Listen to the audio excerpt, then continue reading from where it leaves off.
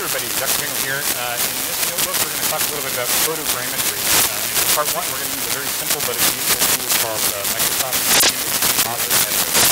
Um, so this is um, available on Microsoft download page. Um, easy install. Um, click on these and install them for you. Um, go ahead and document that um, as you are uh, uh, as you are installing it. Um, it does only run on Windows, so that's a bit uh, unfortunate, but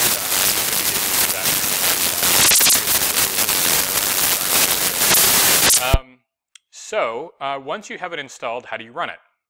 Well, um, I've downloaded uh, or I've created um, a uh, collection of photographs here, um, which are just some photographs that I took uh, sort of outside my back window, just to kind of show you how the, the compositing process works.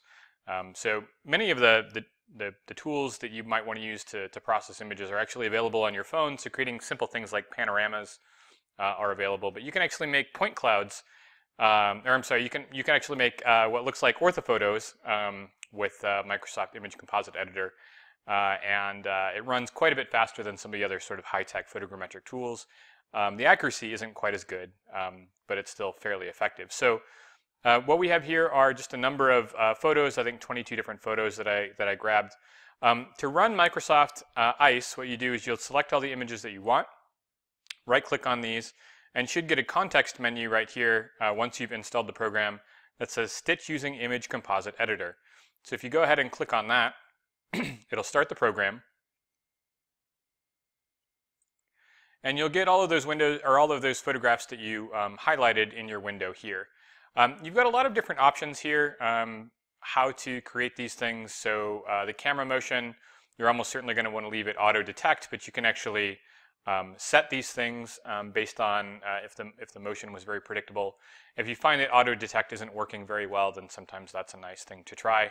Um, you can also create structured panoramas, um, in which case you're very particular about how you've defined uh, these things. Most people aren't going to want to do that. so we will will back out of that and just hit simple panorama again.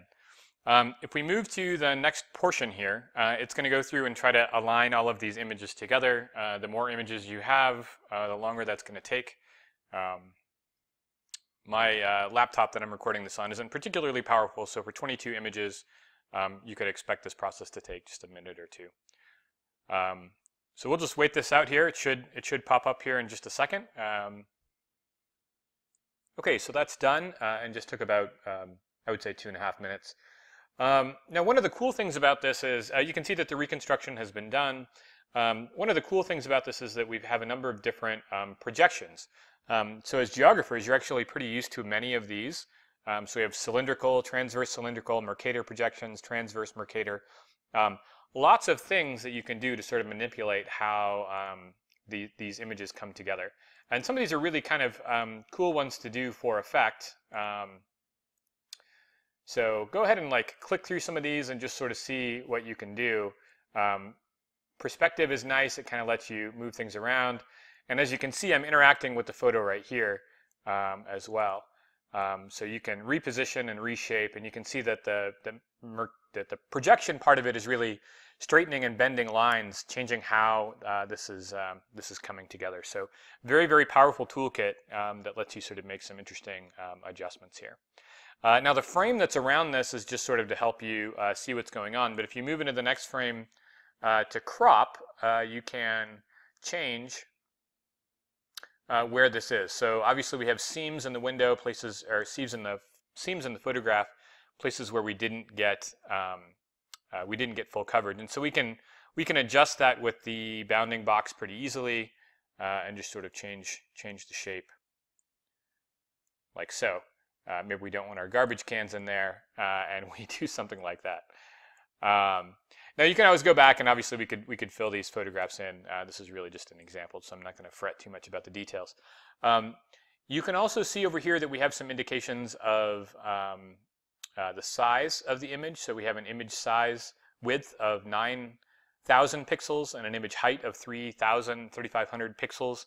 Um, so that's big. So you can really tell that we're really getting a lot more out of this than um, is you know than a single uh, than a single frame, uh, we're getting quite a bit of information out of this. So uh, if we go ahead and hit next, um, we can actually save the product. Um, but uh, another thing that we can do uh, is just, uh, I'm sorry, we can we can save the uh, the, the process itself um, up here, which is going to save save it as a project, maybe something similar like you're used to with ArcGIS. It will, you know, tie into the original data sources and you can sort of start from scratch. But what we might want to do is just export a JPEG of what we see here.